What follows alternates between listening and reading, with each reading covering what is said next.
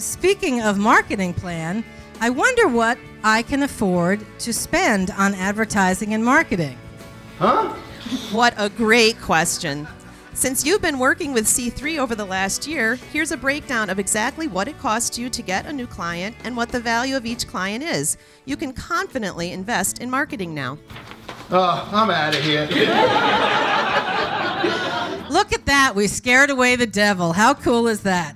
All right, all kidding aside, the numbers really are important, and we'd like to help you gain more financial literacy so that you can be more successful.